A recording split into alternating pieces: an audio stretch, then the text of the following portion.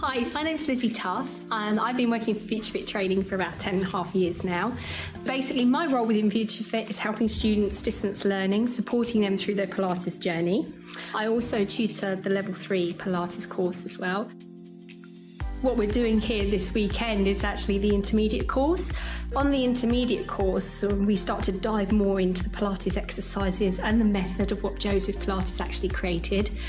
Today we've introduced more kind of harder Pilates um, intermediate warm up moves and also the main phase exercises as well.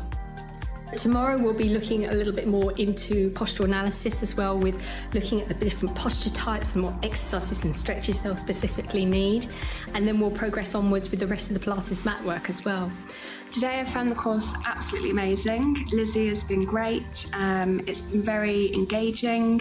Uh, we've been doing a lot of partner work and it's been really good speed. I've definitely enjoyed doing the different Pilates movements and covering all of the different planes of movement and extending my knowledge.